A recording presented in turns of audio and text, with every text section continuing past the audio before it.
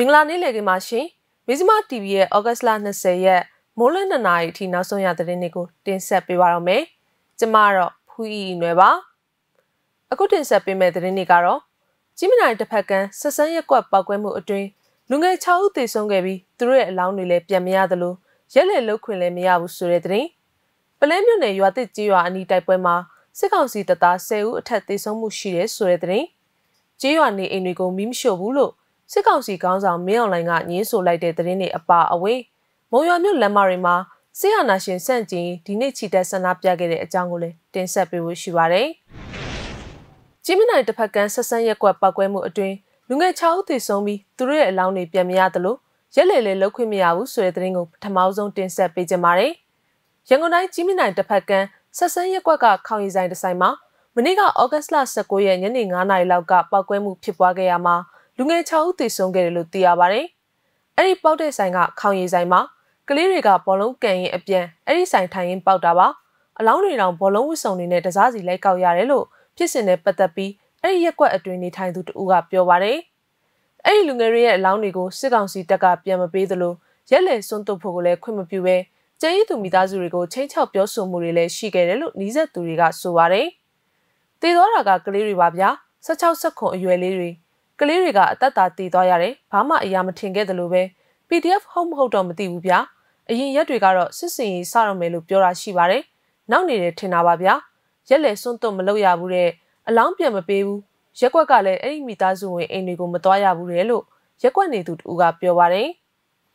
လက်ရှိမှာရက်သားတော်တော်များများကိုလည်းစစ်ကောင်စီကဖမ်းဆီးစစ်ဆေးမှုတွေပြုလုပ်နေတာကြောင့်တိတ်ဆုံးသွားတဲ့လူငယ်တွေရဲ့တငယ်ချင်းဖြစ်သူတွေလည်းထွက်ပြေးတိမ်းရှောင်နေရပြီး ဘေးကင်းရနေရာကိုရောက်ရှိသွားပြီဖြစ်တယ်လို့သိရပါတယ်။ခေါင်းရည်ဆိုင်ရှင်ဖြစ်သူလည်းထွက်ပြေးတိမ်းရှောင်နေရပြီးသူ့ရဲ့အမေဖြစ်သူကိုတော့စစ်ကောင်စီတပ်ကဖမ်းဆီးသွားတယ်လို့ကြားသိရကြောင်းဆိုပါတယ်။ဒီပောက်ကွဲမှုနဲ့ပတ်သက်ပြီးအွန်လိုင်းပေါ်မှာပြန့်နှံ့လာတဲ့အချို့သောမီဒီယာဌာနတွေကတင်ထားတာတွေဟာသတင်းအမှားသာဖြစ်ပြီးယောက်ျားလေး6ဦးသေဆုံးတယ်ဆိုတာသာမှန်ကန်ကြောင်းနဲ့အခုဖြစ်စဉ်ကြောင့်သေဆုံးသူတွေဟာအသက်16နှစ်ပဲမပြည့်သေးသူတွေဖြစ်တယ်လို့လည်းဒေသခံတွေကထပ်မံအတည်ပြုပြောဆိုပါတယ်။အဲ့ဒီသတင်းစတင်ပြန့်နှံ့လာတာဟာ News of မြန်မာအမီရ Telegram အကောင့်ကနေဖြစ်ပြီးရန်ကုန်တိုင်းဒေသကြီးကြီးမြင့်နိုင်မြို့နယ်ဆက်ဆန်းရက်ကွက်ဖွံ့ဖြိုးရေးလမ်းရှိကျူးကျော်အိမ်တအိမ်မှာညနေ9:00နာရီကပောက်ကွဲမှုဖြစ်ပြီးအကြမ်းဖက်အမျိုးသားတဦးသေဆုံးသည်ကိုတွေ့ခဲ့ရသည်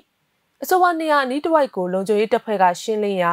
နေအိမ်ဘေးကိုင်းတော်အတွင်းမှာအကြမ်းဖက်မျိုးသား9ဦးဟာမျက်နှာနဲ့ရင်ဘတ်ပွင့်ထွက်တန်ရာတွေနဲ့သေဆုံးနေတာကိုထပ်မံတွေ့ရပြီးသေဆုံးသူအကြမ်းဖက်သမားတွေကိုမိသူမိဝါဖြစ်ကြောင်းစစ်ဆေးနေပြီး အိမ်ရှင်ဖြိုးဝေဟာထွက်ပြေးတိမ်းရှောင်နေကြောင်းသိရှိရသည်ဆိုပြီးညနေ9:40မိနစ်မှာကနအူးသတင်းတပုတ်နဲ့ည9:19မိနစ်မှာနောက်ဆက်တွဲသတင်းတပုတ်ကိုရေးသားဖြန့်ဝေထားတာဖြစ်ပါတယ်။လက်လုံမိုင်းစမ်းတက်ရင်ပောက်ကွဲမှုကြောင့်တေဆုံးသွားသူတွေဟာပြူစောတိတွေဖြစ်နိုင်ကြောင်းသတ်မှတ်ပြောဆိုမှုတွေရှိနေသလိုအဲ့ဒီရက်ကွက်အတွင်းနေထိုင်သူအချို့ကလည်းသူတို့ဟာရက်ကွက်ထဲရှိလူငယ်တွေဖြစ်ကြပြီးတေဆုံးကမှပြူစောတိလို့နာမည်တက်ခံရခြင်းကိုခံပြင်းမိတယ်လို့ပြောပါတယ်။ဆက်လက်ပြီး ပလဲမြို့နယ်ရွာသစ်ကြီးရွာအနီးတိုက်ပွဲမှာစစ်ကောင်စီတပ်သား10ဦးအထက်သေဆုံးမှုရှိရဲဆိုတဲ့သတင်းကိုတင်ဆက်ပေးကြပါမယ်။စကိုင်းတိုင်းရင်းမှတ်ပင်မြို့နယ်နဲ့ပလဲမြို့နယ်အဆက်ရှိရွာသစ်ကြီးရွာကျွန်းတော်အနီးမှာစစ်ကောင်စီတပ်နဲ့ဒေသခံပြည်သူ့ကာကွယ်ရေးတပ်ဖွဲ့တွေဩဂတ်လ14ရက်မိုးလွဲ2နာရီအချိန်လောက်ကနှစ်ဖက်ထိတွေ့တိုက်ပွဲဖြစ်ပွားခဲ့တယ်လို့သိရပါတယ်။အဲဒီတိုက်ပွဲမှာစစ်ကောင်စီတပ်သား10ဦးအထက်သေဆုံးပြီးဒေသခံကာကွယ်ရေးတပ်ဖွဲ့တွေဘက်ကရဲဘော်3ဦးထိခိုက်ဒဏ်ရာရရှိခဲ့တယ်လို့ ပလဲမြို့နယ်ပြည်သူ့ကာကွယ်ရေးတပ်ဖွဲ့တရင်ကိုရဲ့ခေါင်းဆောင်တဦးဖြစ်တဲ့ဆရာစောကမေစီမာကိုအခုလိုပြောပါရယ်ရင်မောင်နိုင်ကြီးရွာကနေထွက်လာတဲ့စစ်ကြောင်းကိုကြားဖြတ်ဝင်တိုက်တာဖြစ်တဲ့တိုက်ပွဲကြာချိန်က၄နာရီလောက်ရှိပါတယ်လက်နက်ကြီးတွေကဆိုရင်60မမကိုကအလုံး100လောက်သုံးခဲ့ရတယ်ဒဏ်ရတဲ့စစ်သားတွေကိုတော်တော်လေးများပါတယ်ဂုတ်ကနေမြေကြီးတရွတ်တိုက်ဆွဲသွားတာတွေကတော့မျက်မြင်ပါပဲလို့သူကပြောပါတယ်အဲ့ဒီတိုက်ပွဲမှာရင်းမပင်ခိုင်တရင်1ရင်းမပင်မြို့နယ်ပြည်သူ့ကာကွယ်ရေးတရင်ခွန် တရင်8ပလဲမြို့နယ်ပြည်သူ့ကာကွယ်ရေးတပ်ဖွဲ့တရင်9တရင်73 MPDF တရင်1ကတမဏိတက်ခွဲအောင်ဆန်း Force နဲ့ဂရော့မြိုင်အဖွဲ့တို့ပူးပေါင်းတိုက်ခိုက်ခဲ့တာဖြစ်တယ်လို့သိရပါတယ်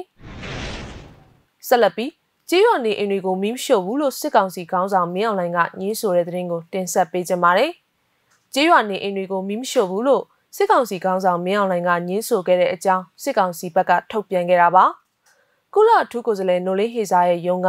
မြန်မာခီးစဉ်နဲ့ပတ်သက်ပြီးတစ်ဖက်သက်ထုတ်ပြန်တဲ့အတွက်နိုင်ငံတကာကနားလည်မှုလွဲမှားတာတွေဖြစ်ပေါ်စေခဲ့တယ်ဆိုပြီးစစ်ကောင်စီကဩဂတ်လ19ရက်ညပိုင်းမှာမြဝတီပြန်ကြားရေးဝန်ကြီးဌာန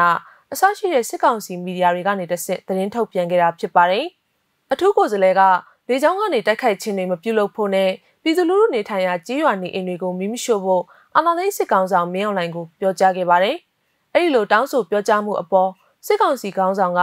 ပြည်သူလူထုရဲ့နေအိမ်တွေကိုမိမိတို့ကမိရှို့ဖျက်ဆီးရဲဆိုတဲ့အချက်ကိုမိမိအနေနဲ့လုံးဝညှင်းဆိုပါတယ်လို့ပြောကြားခဲ့တဲ့အကြောင်းသတင်းထုတ်ပြန်ချက်မှာဖော်ပြထားတာပါ။လေကြောင်းကနေတိုက်ခိုက်ရတဲ့အကြောင်းဟာလည်းမိမိတို့ကိုလာရောက်တိုက်ခိုက်တဲ့တောင်းကျမ်းသူတွေရဲ့တီနေရာတွေကိုပြစ်မှတ်ထားတိုက်ခိုက်နေတာဖြစ်တယ်လို့စစ်ကောင်စီခေါင်းဆောင်မင်းအောင်လှိုင်ကအကြောင်းပြပြောဆိုပါတယ်။လက်တလောစစ်ကောင်စီရဲ့မိရှို့မှုတွေကြောင့်စကိုင်းတိုင်းရှိကြေးရွာအများစုဟာပျက်စီးနေကြောင်းဒေသခံတွေနဲ့ဒေသကာကွယ်ရေးတပ်ဖွဲ့တွေကပြောကြားထားပါတယ်။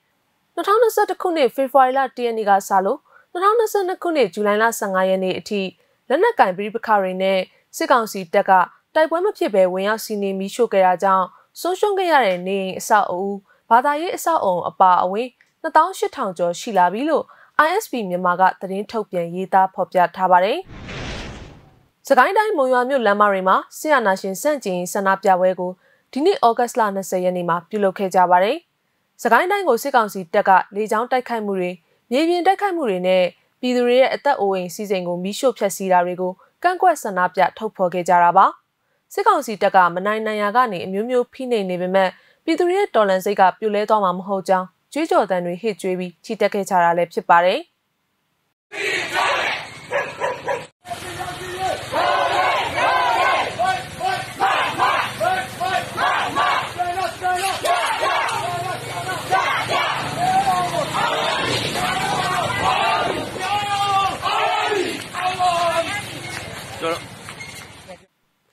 ဇီမာ TV ရဲ့နောက်ဆုံးရသတင်းတွေကိုတင်ဆက်ပေးခဲ့တာပါ။စောင့်မျှော်ကြည့်ရှုခဲ့ကြတဲ့ပရိသတ်တွေအားလုံးကိုကျေးဇူးအထူးပဲတင်ရှိပါတယ်ရှင်။